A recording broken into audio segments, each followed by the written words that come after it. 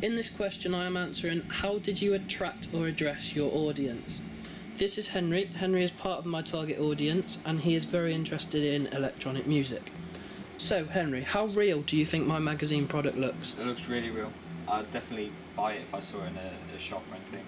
It really sort of grabs your attention. Okay, excellent. Uh, do you think, especially in the contents page, that um, the contents I've involved are appropriate for the genre of the music? Definitely, all the contents here and all the titles seem really relevant to the to the genre and the, the, the style of the magazine. Okay, great. And what do you think about the font styles I've used? The font's really good. It sort of blends really well within the magazine. Uh, it's, it's nice and modern. It looks good. Okay, thank you.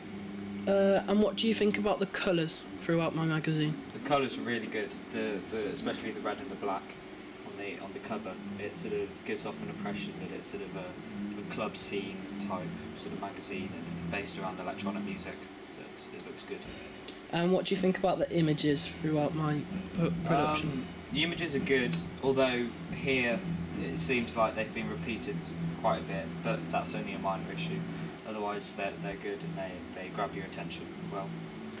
And on the contents page, especially, what do you think about the layout and design? Is that appropriate for you as a target audience? Um, personally, I would have liked to see sort of the the titles and the pages sort of sort of more like sort of the more main feature of the page.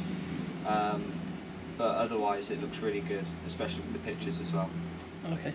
And ultimately, do you think that my magazine was successful as a product? Definitely.